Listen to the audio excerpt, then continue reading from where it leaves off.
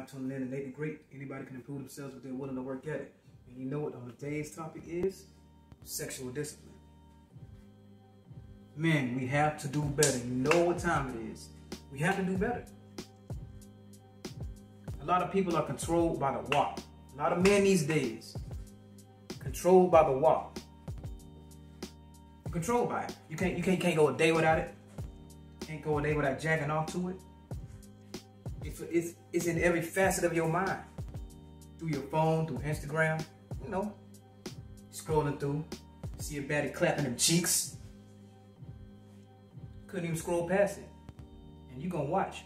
And then when you click on it, you're gonna go through uh, other videos. And then you're gonna end up in a DM when she ain't gonna respond. You, you know how many dudes are in, in those chicks' DMs, bro? And you think out of all of them, she gonna pick you?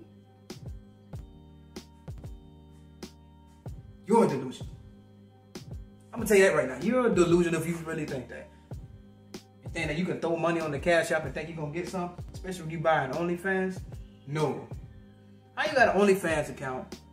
How you got a Pornhub subscription? And how you got a, how you got all kinds of other things that you paying for when it comes to women and stuff like that? But you ain't got no gym membership, bro.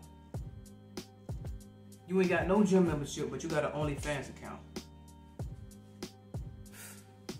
Don't even get me started on the Pornhub. You probably got Pornhub Premium. You signing up for the good stuff. You probably get notifications on your phone when it come on. We gotta control ourselves, man. We gotta control our head downstairs. If you can't control that, you're gonna be manipulated, bro. There's a lot of people going out of their way, spending their lives for the walk, bro. Men, you can't be doing that, bro. Can't be doing that. If you're gonna deal with a woman, have to be from a position of power, like Dr. B always said. It has to be from a position of power. Don't foul out, guys. Taking these girls out of dinner, giving them free meals, and they don't even like you. You can tell when somebody don't like you. You can't tell somebody don't like you. And the, and the crazy part about it is some people don't care. Some men just going to accept defeat. You just going to accept defeat, bro. But okay, hey, she ain't gonna mess with me without my money. I may as well be good as long as I got my money. Bump your money, man. She don't like you. She only like what you can do for her. And I'm not doing this to demonize women, but at the end of the day, it's the truth. I don't recall telling any lies. We need to have sexual discipline and use the energy that we do when we retain our semen.